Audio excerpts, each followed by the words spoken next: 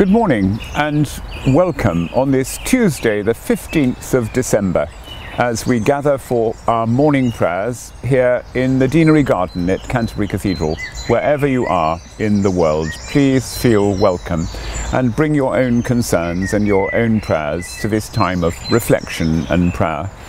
It's a, a, a nice morning this morning. It's very much a, an uh, early winter morning but no winds, no really, um, no sign of rain, although it's rained very hard yesterday and in the night, and a nice blue sky above, above us. So uh, Leo's arrived actually, here we are. Put some stuff up here for you, Leo, if you want. Um, and uh, we are sitting particularly here because our tree today is the wild cherry. No more beautiful tree as uh, an indigenous tree here in England from the mists of time and here is a self-sown wild cherry. I say self-sown but cherries are given much help to sow by the birds eating the wild cherries and then distributing the, the, the pips all around and here's one with its beautiful wood. This time of year is a great time to notice the architecture of trees when they have no leaves on them. So here with its shining wood is the leafless cherry tree. There's a little beech tree with, with leaves still on it near me and an oak tree and all kinds of trees around me and I'm sitting of course in front of the wild hedge which has all English trees uh, growing within it but it's the cherry we're looking at today as a sign of all kinds of things which we'll talk about in our reflection. December the 15th, if we look back and we'll scattergun a little bit just for two or three minutes, um, the Piccadilly Underground line was opened in 1905 today and was the longest line at that time all the way from Finsbury Park to Hammersmith. And so it's uh, got a station that we both use uh, a great deal at Barons Court. And uh, we remember that with affection at this time when poor London tomorrow is going into tier 3 just as we are in Kent and that will mean much severer restrictions there. Um, there's a, a, date from the long past which reminds me of our reflections in the book of Revelation. It says in 37 AD Nero was born. Well, I'm not going to dwell on the Emperor Nero today. We've done that quite a lot in the last few weeks. In uh, 1675, the Dutch painter Vermeer died, and in 1832, the French architect Gustave Eiffel was born, who gave us the iconic Eiffel Tower the sign of Paris, just as the London Eye has become a sign of London, both used on uh, New Year's Eve as an icon to the world when the fireworks are lit of the, the life of those two cities, London and Paris. In 1892, John Paul Getty was born, John Paul Getty Sr. born, and we remember all our friends at the, the, the Getty, uh, both Getty museums on the coast of California near Los Angeles uh, and remember them all today and remember them in our prayers. Uh, in 1939, the film Gone with the Wind, which when you adjust for inflation is still the highest grossing film ever produced. And it had its premiere in the Grand Theatre in Atlanta, Georgia, which causes me to remember beautiful St. Philip's Cathedral in Atlanta and send a prayer for Dean Sam Candler, a dear friend, and all his people there. I have a happy memory of um, driving with two horses uh, pulling the cart with Dean Candler down the whole length of Peachtree Avenue on a ceremonial bringing of stone at that time. A very, very exciting memory. And uh, then in 1966, Walt Disney died, who gave us so many images and so much pleasure in his films. And in 1962, the actor Charles Laughton died. Again, his creative ability in earlier films was well known by my parents' generation. And remembering Mutiny on the Bounty, quite often when they were eating cheese, one of them would say, Are you partial to cheese, Mr. Christian? Which is one of Captain Bligh's uh, uh, questions for, to Fletcher Christian in, in that, that iconic film of Mutiny on the Bounty. There are two saints in the calendar of the Episcopal Church. They're actually, uh, they, they ministered in Canada. Robert MacDonald in the Northwest Arctic, and John Horden, uh, who amongst the Cree and Inuit people, we remember them. They're late 19th century saints who don't appear in our calendar, but any of you from Canada and the States, we remember them with thanksgiving. Remember also the island of Alderney in the Channel Islands, homecoming day for them, remembering the 15th of December 1945. Alderney, with the Nazi occupation of the Channel Islands, was completely evacuated. And on this day, in 1945, the first boatload of citizens went back. Homecoming day, so God bless Alderney and the whole Channel Islands on this day. 1938 saw the breaking of ground for the building of the Jefferson Memorial on the Mall in Washington, D.C. We'll come back to that when we think about the cherry trees. And also 1993 on this day saw the Anglo-Irish Pact, which paved the way for better agreements later. John Major and Albert Reynolds, the two prime ministers, United Kingdom and Ireland, signed that on the steps of Downing Street on this day in 1993. And maybe also we remember that in 1775 on this day, the Bill of Rights was ratified in the United States Congress. And that Bill of Rights actually has its roots in the Magna Carta, and uh, the Magna Carta, of course, was inspired by the work of Archbishop Stephen Langton and the Canterbury uh, copy of that, which was stolen, uh, and to go into the history of all that, stolen by the governor of D Dover Castle, and but now finds itself in the British Library.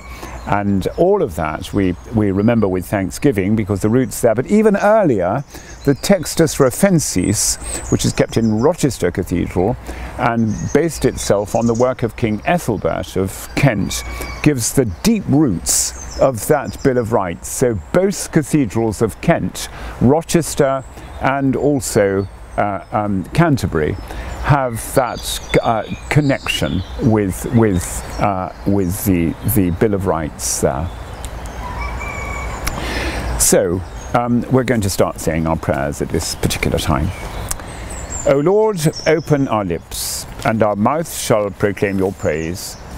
Reveal among us the light of your presence, that we may behold your power and glory. Blessed are you, sovereign God of all. To you be praise and glory forever. In your tender compassion, the dawn from on high is breaking upon us to dispel the lingering shadows of night. As we look for your coming among us this day, open our eyes to behold your presence, and strengthen our hands to do your will, that the world may rejoice and give you praise. Blessed be God, Father, Son, and Holy Spirit. Blessed be God forever. The night has passed, and the day lies open before us. Let us pray with one heart and mind. And as we rejoice in the gift of this new day, so may the light of your presence, O God, set our hearts on fire with love for you, now and forever. Amen. Our psalm on this 15th morning of the month is Psalm 77. I'm going to read the first part of that. It begins with the sense of someone in trouble and then goes on in a remembrance of the almighty power of God overarching all things. Psalm 77. I cry aloud to God. I cry aloud to God, and he will hear me. In the day of my trouble I have sought the Lord. By night my hand is stretched out and does not tire, but my soul refuses comfort. I think upon God, and I groan. I ponder, and my spirit faints. You will not let my eyelids close. I am so troubled that I cannot speak. I consider the days of old. I remember the years long past. I commune with my heart in the night. My spirit searches for understanding. Will the Lord cast us off forever? Will he no more show us his favour? Has his loving mercy clean gone forever? Has his promise come to an end forevermore? Has God forgotten to be gracious? Has he shut up his compassion in displeasure? And I said, My grief is this, that the right hand of the Most High has lost its strength. And I will remember the works of the Lord and call to mind your wonders of old time. I will meditate on all your works and ponder your mighty deeds. Your way, O God, is holy. Who is so great a God as our God? You are the God who worked wonders and declared your power among the peoples. With a mighty arm you redeemed your people, the children of Jacob and Joseph. The waters saw you, O God, the waters saw you and were afraid, the depths also were troubled. The clouds poured out water, the skies thundered, your arrows flashed on every side. The voice of your thunder was in the whirlwind, your lightnings lit up the ground, the earth trembled and shook. Your way was in the sea, and you par- your paths in the great waters, but your footsteps were not known. You led your people like sheep by the hand of Moses and Aaron. A psalm of great pondering and reflection here as we say it on this 15th morning where it belongs. Remembering that the Psalms go through so many different moods of our humanity, verse by verse as we say them. So we come then to the last of our readings from the first letter to the Thessalonians, Paul's earliest letter that we have recorded in the New Testament. And we're starting at verse 12 of chapter 5. We ask you, brothers and sisters, to respect those who labour among you and are over you in the Lord and admonish you and to esteem them very highly in love because of their work. Be at peace among yourselves. And we urge you, brothers and sisters, admonish the idle, encourage the faint hearted, help the weak, but be patient with everyone. See that no one repays anyone evil for evil but always seek to do good to one another and to everyone. Rejoice always. Pray without ceasing.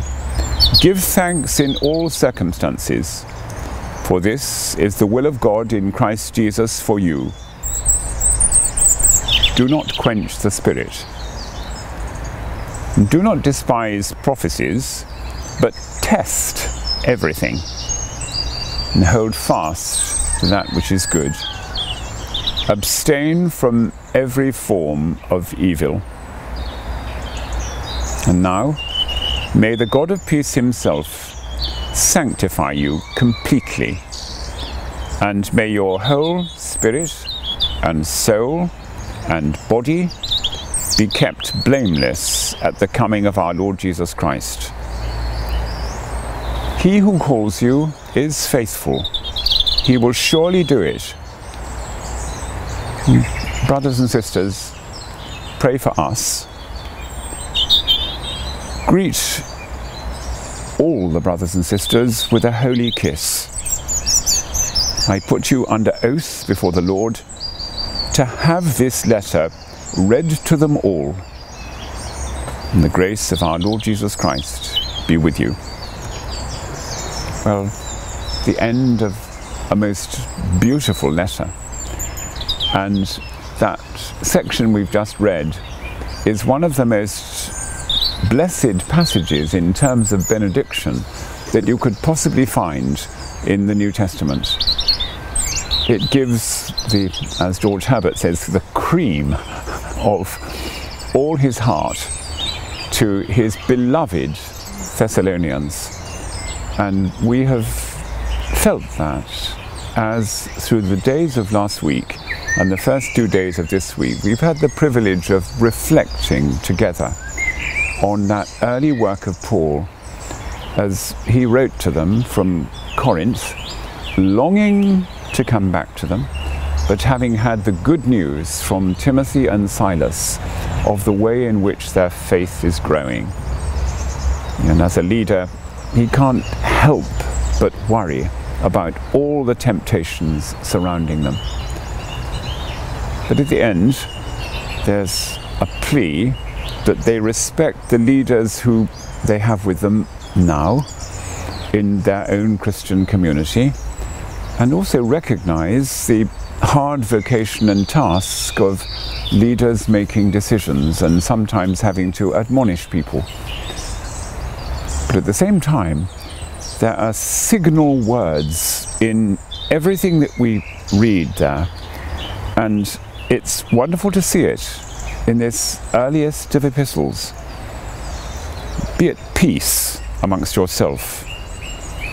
Admonish the idle, encourage the faint hearted, help the weak, but be, be patient with them all. I think that was a lesson that Paul himself quite often found hard to, to uh, follow, and he, all the, all the way through, is saying, Do not quench the Spirit, for it's through the grace of the Spirit that all things become possible. And then, as we finish that little section, we have his word rejoice. Rejoice always.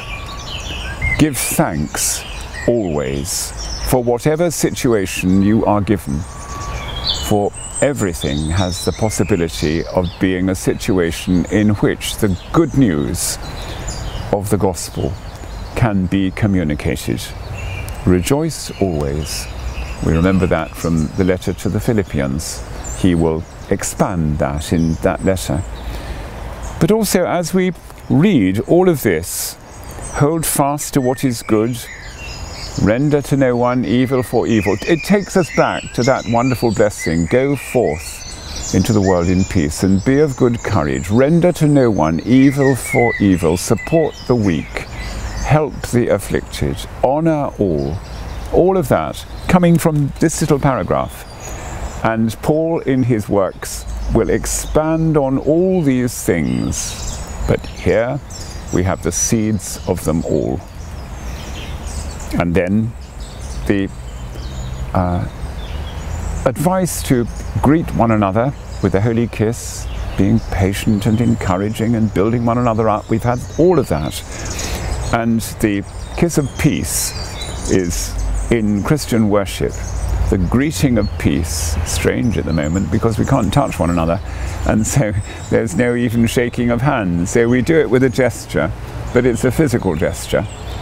And notice how the sanctification which Paul is talking about, the reaching out for salvation and the, the purity of life which Paul is suggesting with all patience and encouragement is given for body, mind and spirit. They're all there.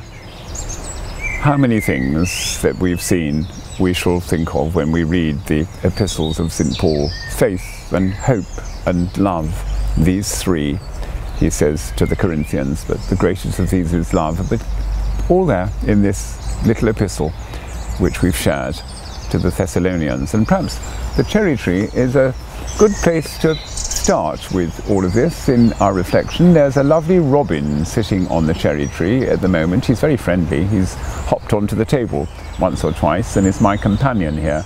He's a bit more my companion now Leo has chosen to go up into the orchard, but he's looking at me all the time when I'm speaking to you this morning. And here's the cherry with its shining wood, which is so often used for beautiful furniture. But also this native tree is a tree which bursts into Easter life in the spring with its white flowers. And at the same time, the bees come out and, and find sustenance there for their hives and they pollinate the tree. And then first the leaves give shelter and the berries in their green and then their red give both beauty but also food for chaps like this little robin who's now sitting on the oak tree and looking down at me and singing a little bit as well. His song is very beautiful through the winter, but they are the friendliest birds with their red breasts and signs of Christmas, so often appearing on an English Christmas card. But the cherry, then, after the fruits have been taken by the birds, in fact, the, the Latin name for this tree is Prunus avium, and that second word is about the birds. And uh, they spread the, the, the, the cherry seeds all over. It's found, except in the far north, it's found everywhere in these islands. And so we give thanks for its life, but what it represents, and then the way the leaves give us great beauty as they turn from one colour to another in these autumnal days. Around the cherry are many other guests. We've got here a maple tree, and then beyond, uh, and nearest to what you're looking at, probably the horse chestnut tree. Both of them guests here. And maybe we should remember also at this time a cousin of this cherry tree, the wild cherry of England. And I'm talking now about the Prunus autumnalis, the winter flowering cherry, which came over from Japan here at the beginning of the 20th century. We have them in the garden. We had a big one in the garden which has faltered through savage pruning at some stage, but for a long time, at Christmas time, its white flowers would shed its petals, and even if no snow had fallen, it looked on our forecourt here as though snow had fallen. Well, we planted some more of the Prunus autumnalis in the front garden, and they are flowering beautifully with their tiny flowers at the moment at this time of year, for they are winter flowering. But this is very much spring flowering. And the cherry re reminds me most of all of a poem by the poet Housman.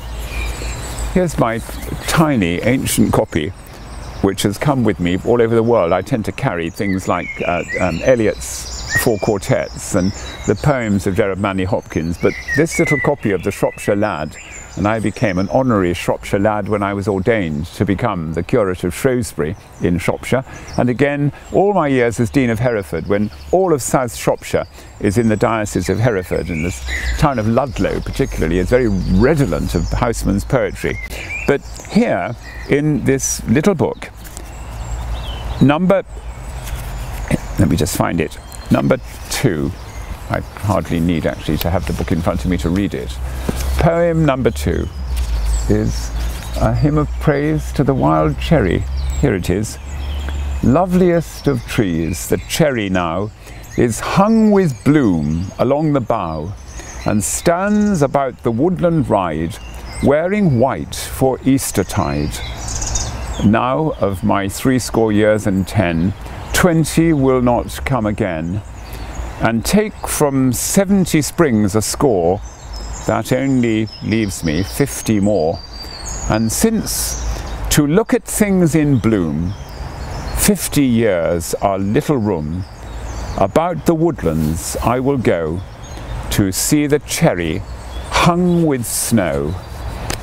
Well, that's an Eastertide promise of resurrection, which will be fulfilled and an Easter promise also of the fruits which St. Paul speaks of in the lives of his Thessalonian Christians faith and hope and love and encouragement and courage and faithfulness, all those things which, like seeds, will develop and grow and flower with resurrection loveliness. And if you go to the Prunus autumnalis, flower at Christmas tide as well. And all of that we remember with massive thanksgiving as we give thanks for the cherry. But one more thing. When I came here first, 20 years ago, every August the Japanese ambassador would come for an act of reconciliation at the time when the anniversary of the end of the war in the Pacific eh, in 1945 took place. And the act of reconciliation would include those who had been guards in the Japanese camps and those who had been prisoners of war in those camps, lining up on the campus rows in Canterbury Cathedral and shaking hands in an act of reconciliation. And on two occasions, the Japanese ambassador planted a cherry tree as a sign of peace and reconciliation. We remember all those cherries trees blossoming also in the Mall in Washington as we think of the Jefferson Memorial there and everything else. So all those cherries along there, they're spring cherries, not autumnalis. But here the autumnalis remind me because they're guests from Japan. But now we've received gifts from Japan and because that ceremony no longer takes place because the guards and the prisoner grew too old to do it physically, then more cherry trees have been given as gifts from the Emperor of Japan to this place and other holy places. And we shall plant those as a sign of peace and reconciliation. Greet one another with the holy kiss of peace, says St. Paul. And when he's talking about the little community there with most of the qualities of patience and goodwill, he says, and do this not only amongst yourselves but to everyone. So the cherry becomes a sign of peace as well as a, a tree of great beauty. But here is our native one, and we give thanks for that as it will blossom really well as a sign of Easter resurrection and then become fruitful as we ourselves are expected to be. Well, now, let's uh, say our prayers for this particular day. And we are today on the 15th of December giving thanks for the Diocese of Sokoto in Nigeria and Augustine Omole, the bishop there, and his people, and the Diocese of El Salvador in Central America, and Juan David Alvarado Melgar, the bishop there, and all of his people. And here in our own diocese, as we give thanks for the ministry of Justin, our Archbishop, of Rose, Bishop of Dover, of Tim, Bishop at Lambeth, and the ministry of all in ministry in every parish, today we are asked as a diocese to give thanks for NHS and care workers, and we do that with great gladness. We used to stand out in the garden and clap them, and we do that together virtually across our prayers this morning. But let's then say our prayers, and we use, first of all, the collect for this week, which is about ministry and the fruits that we are asked to share with each other wherever we are. O Lord Jesus Christ, who at your first coming sent your messenger to prepare your way before you, grant that the ministers and stewards of your mysteries may likewise so prepare and make ready your way by turning the hearts of the disobedient to the wisdom of the just that at your second coming to judge the world, we may be found an acceptable people in your sight. For you are alive and reign with the Father in the unity of the Holy Spirit, one God, now and forever. Amen. And the Advent Collect. Almighty God, give us grace to cast away the works of darkness and to put on the armour of light now in the time of this mortal life in which your Son Jesus Christ came to visit us in great humility, that in the last day, when he shall come again in his glorious majesty to judge both the quick and the dead, we may rise to the life immortal through him who lives and reigns with you in the unity of the Holy Spirit, one God, now and forever. Amen. So we say the prayer our Saviour taught us in whichever language you like to use. Our Father, who art in heaven, hallowed be thy name. Thy kingdom come, thy will be done, on earth as it is in heaven.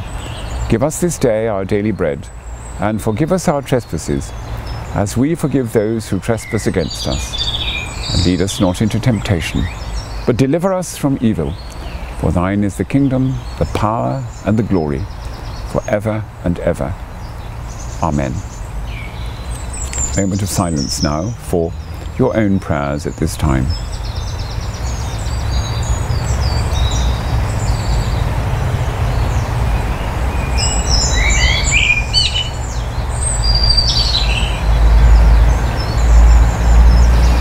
And Christ, the Sun of Righteousness, shine upon you, scatter the darkness from before your path, and make you ready to meet him when he comes in glory. And the blessing of God Almighty, the Father, the Son, and the Holy Spirit be upon you, upon those whom you love, and those whom you would pray for, today and always.